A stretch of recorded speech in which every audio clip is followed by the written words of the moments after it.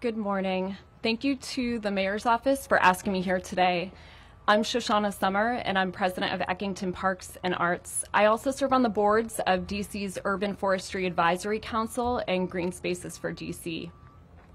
Eckington Parks and Arts is a community-driven nonprofit supporting a sustainably greener and cleaner DC through efforts and advocacy of volunteers. We coordinate neighborhood cleanups, educate and perform outreach, advocate for a greener community, with improved air quality, activate our green spaces through events, liaise between neighbors and city services, and improve Eckington and nearby neighborhoods by bringing attention to existing needs and our shared vision for the future. Dependable city services and responsive city agencies are foundational to the success of our efforts. We need these basics so we can aim higher and achieve more. Through our past work, we've developed important relationships with many partners. Our fiscal sponsor, Green Spaces for DC, NOMA BID, Eckington Civic Association, Capital Nature, DPR, DDOT's Urban Forestry Division, and Clean City DC, among others. In 2023, we're contributing to new and cohesive efforts with our ANCs and our Ward 5 council member. And now we look forward to partnering with the Mayor's Office and all our DC agencies as we get back to the basics. And on that note, I'd like to introduce DC Mayor Muriel Bowser. Thank you, Shoshana. Thank you. Well, let's give Shoshana a big round of applause and thank you for that introduction. Uh, it's a beautiful spring day uh, in Ward 5 and all, all across Washington, D.C., where we continue, despite very a very windy weekend to see cherry blossoms throughout the city. Uh, our teams are playing baseball. Um, our our little league teams, the Washington Nationals, uh, and another spring tradition for us is to uh, begin uh, a focus on back to basics and how we are out in our neighborhoods. Uh, so, just like a lot of people are doing their spring cleaning, uh, that's kind of our version of back to basics. I want to acknowledge our great DC government workers who are with us, Everett Lott and the entire team at DDOT. Let's give them a big round of applause.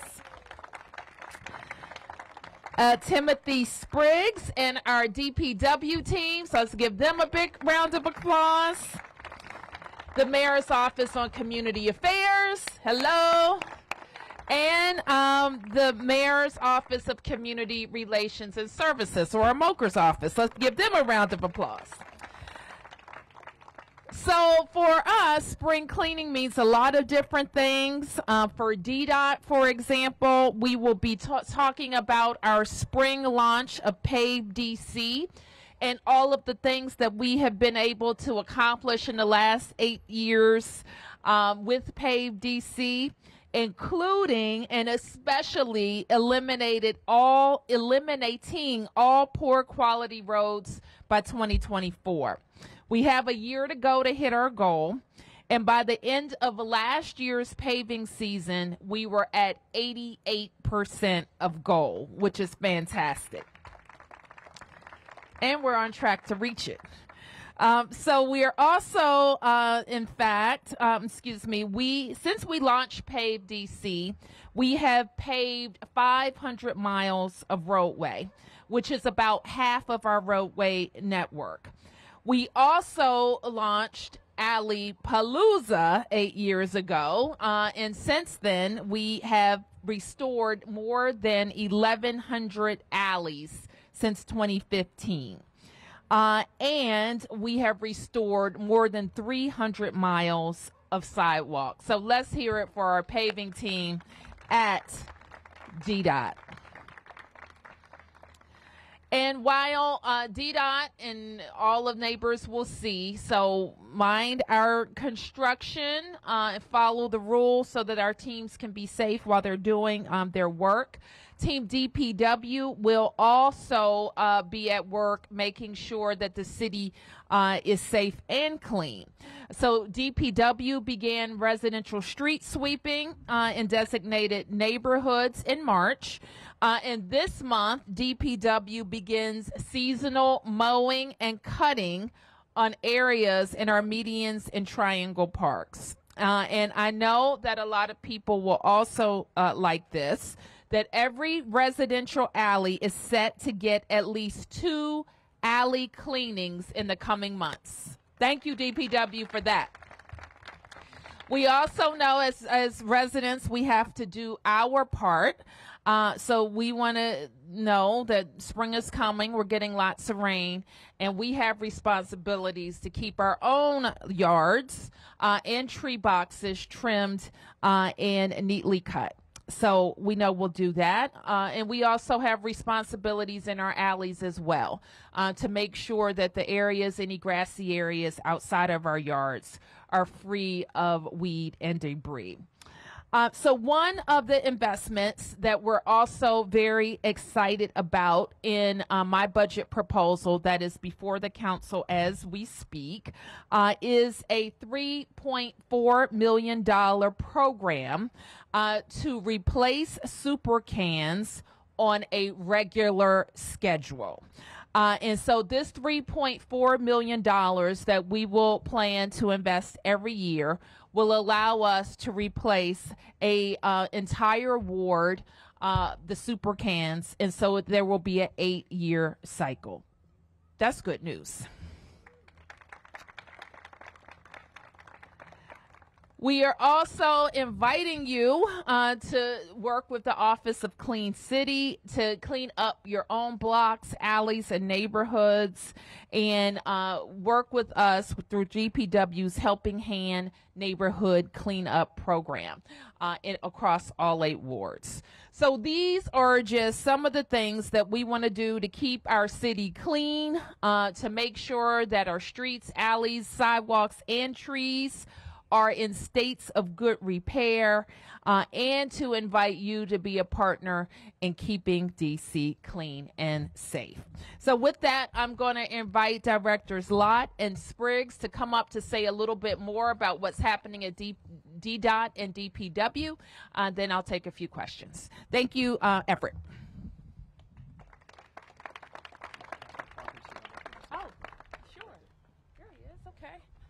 We've been joined by our council members. So before I turn uh, to our, our directors, let's hear from um, the Ward 5 council member, Zachary Parker. Good morning, everyone. Um, I am not going to be up here long, but I'm really excited about this idea of getting back to the basics because what we know is building healthy communities uh, mean making sure streets are paved, the roads are clear of debris, that trash is picked up regularly. And I've been working uh, tirelessly with our agencies uh, to make sure that Ward 5 neighbors can depend on quality city services. I want to thank the mayor uh, for coming out today to Ward 5. Um, I want to thank Director uh, Spriggs uh, as well as Director Lott for being here as well. And I'm looking forward to elevating the concerns of Ward 5 neighbors and looking forward to the investments coming down uh, to ensure we can continue to build healthy communities. So, with that, I'm going to turn it over to Director Lott uh, to talk about the uh, initiatives from DDOT. Thank you. Good morning, everyone. Thank you, Mayor, and thank you, Council Member. So spring is here, and we are getting back to the basics with the launch of DDOT's annual paving season. Six years ago, Mayor Bowser challenged DDOT to ensure that all roads across the city are all in a state of good repair by 2024. So with the launch of the 2023 paving season, I'm happy to announce that we are very close to meeting that goal. Today, 88% of all district roads under DDOT's jurisdiction are in a state of good repair. We've been able to maintain our continued progress toward this goal by paving, uh, following our paving plan that we've modeled called Paving DC. Pave DC uses road quality assessments and community requests to first address the streets that are in the greatest need and the highest priority to the community. This process has helped us navigate our way through the most critical repairs and build annual plans that maximize our use of contracting resources and personnel. PaveDC has also improved transparency in our paving program. So you can follow online to monitor our progress across the plan and find out where we're going to be next. You can even find a full list of sidewalks, alleys, and roadway markings listed for completion during the upcoming year. Our roads and our highways are the backbones of our transportation system. They enable us to travel to work and to school, to shop at local businesses, and they also allow us to route to our favorite places across the district. Paving season is not just about fixing potholes and resurfacing roads. It's an opportunity to, for us to invest in our city's infrastructure and ensure that our transportation system remains efficient and reliable. Paving also improves safety by ensuring the traveling public has smooth, clearly marked routes that support wayfinding across the district. And with our PaveDC plan, we make it just as safe and just as convenient to walk, to bike, and to take public transit as well as and as easy as to drive. All of this has been possible and made possible by the continued support of our mayor, Mayor Bowser, who dared to issue what many deemed an impossible challenge to move the district into a state of good repair. And our dedicated team of DDOT personnel who've come to work every day have made it all the better and made it easier for, easier for us to achieve this goal. So remember, over the next few weeks and into the summer and even, even early fall, we'll be getting back to the basics through our paving and our paving plan here in Washington, D.C. So please plan for your commutes because we may be tackling a block in your neighborhood very soon. So thank you, Mayor Bowser, and thank you to the full and the whole DDOT team. Thank you very much.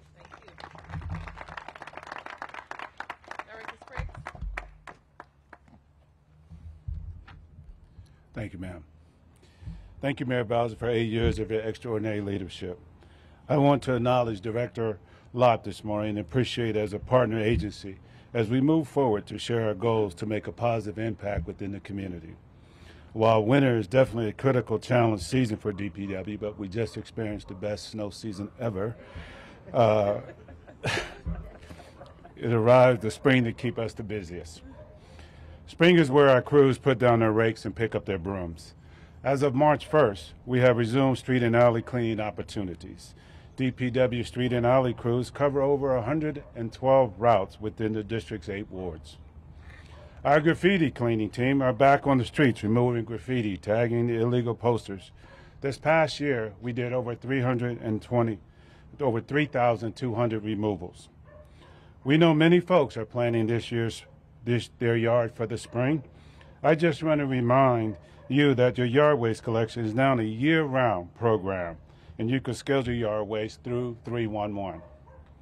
Just contact 311 by phone, email, or through the 311 app. In addition, our traditional spring operations, DPW has several new initiatives we plan to kick off before the end of the season. We will soon announce our District Zero Waste DC plan, which will guide the city towards diverting 80% or more to the city's waste away from landfills and incineration by 2032. And last this spring and, in, and into the summer season, we will also launch the district's first curbside compost pilot with a limited number of households signed up for this participation.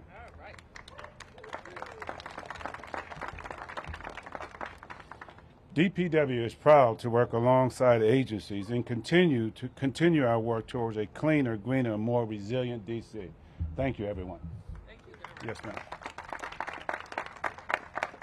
Okay. Um, I think we have a big piece of equipment that we're going to get to see how it works. But before we do that, I'll take a few questions. Any questions? Any press questions and any community questions? Yes, Mark. Uh, so, um, Mayor Bowser, maybe for one of the directors, could you define what state of good repair actually looks like, what people can expect? And then just kind of on uh, the metrics that you're, you're saying about 500 miles of road, 300 miles, can you kind of compare that to how many miles of sidewalk there actually are, how many miles of roads there actually are? And, and my last is, when you say by 2024, December 2024, January 2024? Budget 2024. FY. Budget the, the budget year. Yes, Okay, our so FY. October. September 30th. Okay, all right. And so, how many miles of sidewalk and roadway? Sure, I'm going to ask? Everett um, to talk about that, but um, I'm also going to ask him to refer you to some of our budget docs. I think we're going to go back six years, not eight years, um, where we made the decision to make a substantial budget investment in paving. Um, and at that time, uh, DDOT uh, forecasted, and it, it seems like they're pretty much spot on, how many dollars it would take and how many years it would take to reduce to take roads. Um, and you'll see um, in the documents that we share with you all the roads that were in red, which means they were a poor quality road, to get them to fair, to get them to excellent. And so obviously the, the plan was to eliminate all the ones that were marked poor quality uh, and to keep them on a cycle so we don't get any more um, roads that are rated poor quality. Or if they are poor quality, they're in the queue um, for restoration. So let me ask uh, Everett to talk to you a little bit more about the numbers and refer you uh, to those budget, budget docs that show over the last six years how we've done it.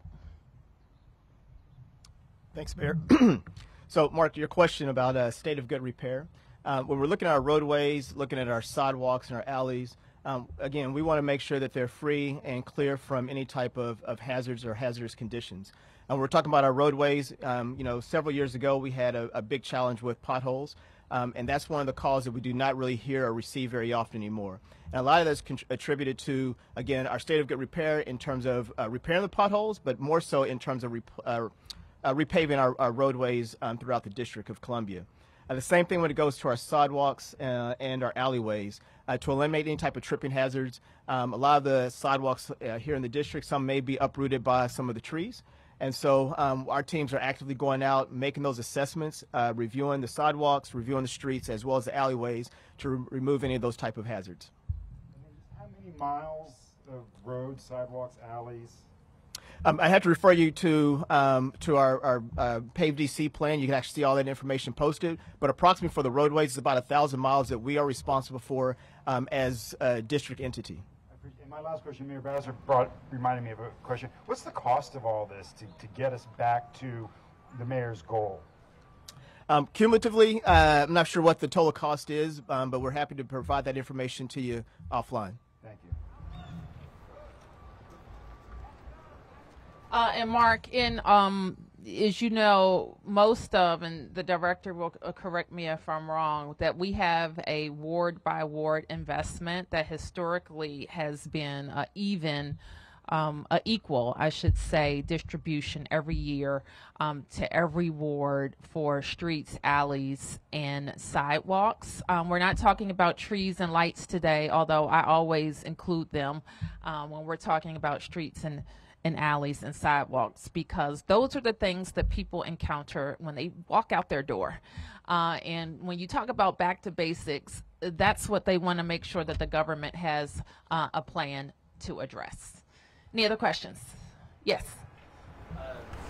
on transportation, but uh, Friday you announced two open streets events, which was less than the year before, and I heard some disappointment on the number of events. But um, a lot of the things that people pointed out was the police cost to block off uh, streets and and uh, you know different intersections. But uh, can you talk a little bit about the budget challenges with putting on those events and why having you know police big vehicles is, is important to, to do uh, for these events. Sure, uh, and I'll ask Everett and the DDOT team has done uh, like a really amazing job with Open Streets, and we continue to be very proud uh, to advance Open Streets uh, program um, for the district. And just like we've done with everything, every agency, every initiative, we're trying to be really efficient with how we spend our resources. And that's how we uh, arrived where we are with the number that we uh, arrived at. Um, we continue to, to think about ways to make sure all of our special events are safe. Um, and if there are ways to use fewer resources, especially police resources, uh, that's going to be necessary uh, for all of our special events moving forward. Any other questions? Okay. Your, your lawyer's office received a second complaint against your former deputy mayor. I'm just wondering if you have any comments of, uh, about this. I know, you know, what actions you took when you found out about this second allegation, and if you've heard of any others since, subsequent to that. Mark, as you know, we're directing um, all questions about that investigation to the MOLC, um, and that's all I can really say. Topic. Have you received the letter from Congressman Comer to appear Yes. before? Can you tell us uh, your plans for that? Is it May 26th? Is that the date that he, that's the date he, he said? I don't think that's the date. I think it was earlier in May, uh, and we're re- reviewing that now. So you haven't accepted his invitation as of yet? We we haven't really sat down to review what's what's entailed, but I plan to do that this week. Thank you. Hey, Mayor, I just had a couple questions about the Housing Production Trust Fund that uh, report that came out over the weekend. Um, this is the first annual report through the Housing Production Trust Fund that your administration has filed in seven years. And firstly, I was just wondering if you could explain why annual reports had not been filed between 2016 and 21. You know, I'm not exactly sure, but I think, as I recall, that there was some audit that was underway. An audit of of uh, of what exactly? I, I'm talking off the cuff, so let me have the department get back to you on that. I I, I don't recall why it was an issue. Okay. And, and secondly, uh, the report showed that while the, the fund was meeting goals for some income brackets, it was still not meeting the mark on the 50% requirement for the 0 to 30% income bracket. Can you explain why that's not happening and if you intend to make that a priority in the next round of proposals this year? Um, did you write that article? Yes, ma'am. Okay, so I know that the director has already addressed your question. Yes, but I'd appreciate your perspective considering she only started in January and you were there for the duration. Well, your addressment, your question was about what's next, and I think she addressed your question. She was also citing, you know, your vision. So, I'd, you know, hearing it from you, I'd certainly appreciate what you intend to do. Um, what I intend to do is meet our 2025 goals for affordable housing in the district. Does that include prioritizing investment in zero to thirty percent housing? Uh, I think if you look across the spectrum of what we do, as the director, you know, has already answered you, we have a lot of tools, uh, including vouchers, including permanent supportive housing, including our career map pilot, which is helping people with very low incomes um, raise their incomes and in scale off of public um, benefits programs. So I think what's important for all of us to do is to look across the spectrum of our tools to see what works the best for each income bracket. Um, and that's what we intend to do. Uh, we also intend to advance policies that make sure that we can have um, production of units that support teachers and firefighters and police officers that don't fall in uh, to 30% of below, but are still people in our city who need affordable housing uh, and who we need those employees like maybe even the employees standing behind me uh, that can uh, afford housing uh, in the district. So our uh, our um, approach to affordability has always been across the entire spectrum. Do you intend to lobby for any changes in the law then? If considering it's still necessary, law? well, if necessary, I know that the council made some changes to the law last year, um, and so we would need to review that. Um, but what I want to make absolutely clear is, and, and it's been much ballyhooed uh, before about the investments of the in HPTF, all go to affordable housing, all of it. And so I want you and your reporting to, in to make that perfectly clear uh, that we have made historic investments with HPTF and other tools. Per capita, best in the nation, uh, and it goes across all incomes. So we have uh, addressed very low income, no income, in fact, uh, in all of our, our homeless services production that we've been able to do associated with our Homeward DC program. Uh, the council has made pretty historic investments in, in vouchers, which we work with them on, which really are supporting very low income people. Uh, we have low income tax credit programs. So all of these are tools um, that support their production of very, very low income housing or support the income maintenance or income support for people with very low incomes. Thank you, Mayor. Thank you. All right. Thank you much, everybody.